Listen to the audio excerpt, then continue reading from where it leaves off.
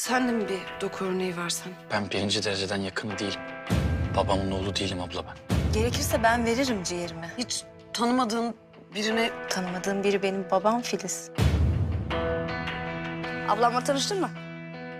Eh, Barış bende. Filiz'in nişanlısı. Ee eşin ne iş yapıyor? Bana bak. Sen de bu sinsirellere dikkat et ha. Barış'a bakışlarını ben hiç sevmedim. Tülay şu kız benim babamın hayatını kurtaracak beni buna kurma. Şey, benim bir tuvalete gitmem lazım. Eliz abla içeride misin? Abi bu kız yok ya.